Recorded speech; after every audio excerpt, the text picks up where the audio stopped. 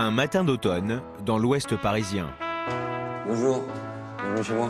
Pour toute une histoire, Brahim Zaiba a accepté de nous ouvrir en exclusivité les portes de chez lui. Ben voilà, bienvenue. Le salon, ma maison.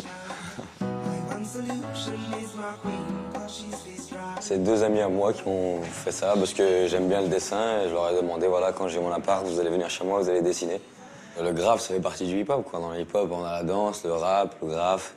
Donc voilà c'est quelque chose qui est en moi. Moi aussi je graffe un petit peu. Je fais des petits gribouillages un peu de partout comme j'ai fait un peu là sur les murs aussi qui sont par là. Mais la spécialité de Brahim, c'est plutôt le breakdance. À l'âge de 9 ans, il se découvre une passion pour la danse. Et c'est sur scène qu'il se crée peu à peu un univers bien à lui. Là, je pense que c'était 2004. Ça, c'était le championnat du monde 2010 à Nagoya. C'est de très bons souvenirs parce que j'ai commencé avec mon groupe en 2000. On a remporté le premier championnat du monde en 2003.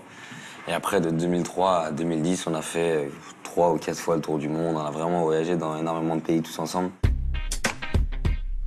S'il vit un succès fulgurant depuis 5 ans, le jeune danseur a néanmoins su garder les pieds sur terre. Je suis comme tout le monde, je suis comme tout le monde, je danse. Et moi, quand ils viennent me voir dans la rue, ça me fait plaisir parce que j'ai souvent des, compliments ou des choses gentilles. Donc euh, je la vis très bien et je suis heureux comme ça. Qu'est-ce qui séduit autant le public chez moi? Ah, j'en ai aucune idée, il faut le demander au public, je sais pas. Comment je peut-être Brahim plaît au public et il enchaîne les projets. Cet après-midi, il va nous faire découvrir les répétitions des Trois Mousquetaires, un spectacle musical où il incarnera un des rôles principaux dès septembre 2016.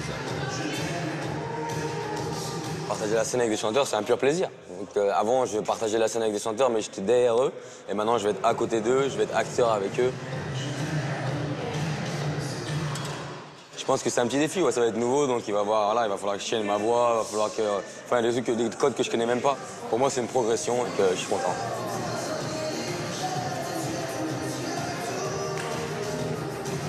Yaman, le chorégraphe de la comédie musicale, a repéré Brahim dans un concours alors qu'il n'avait que 14 ans. Quand je l'ai connu, il se démarquait des autres dès le début. Ouais, ça, c'était indéniable parce qu'il avait un, style de break qui était à l'époque un peu hybride. Et, on n'avait pas l'habitude de voir euh, les mouvements qu'il faisait. Il est là où il doit être et euh, je pense qu'il sera encore euh, plus loin, plus haut dans le futur. Auprès de ses partenaires de scène, Brahim fait aussi l'unanimité. C'est quelqu'un qui, a beaucoup de charisme. Quand il prend, il prend tout de suite très bien la lumière, on le voit. Il a un regard, il est présent. Nous, les mousquetaires, on n'est pas des danseurs nés. Alors, euh, Brahim a un œil artistique très, très développé pour ce qui est euh, mise en scène, euh, chorégraphie. Il nous apporte un, grand support lorsqu'on monte des numéros un peu plus acrobatiques. Matt Pokora connaît bien Brahim, puisqu'ils ont travaillé ensemble sur une autre comédie musicale, Robin des Bois.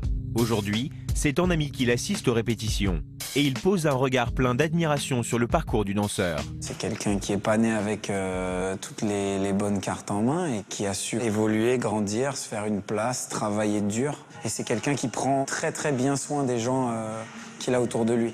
Il a cette fibre euh, paternelle ou de grand frère, voilà. Je suis fier de mon parcours, mais je pense qu'il y a eu le travail qui compte et voilà, comme je dis, j'ai toujours pas fini de travailler, je l'apprends tous les jours. On m'a appris ça quand j'étais jeune, vaut mieux être le plus nul dans la salle que le plus fort pour apprendre de tout le monde. Donc c'est ce que je fais tout le temps et voilà, j'adore. Jusqu'à toi pour le meilleur, ici et toi pour la première fois.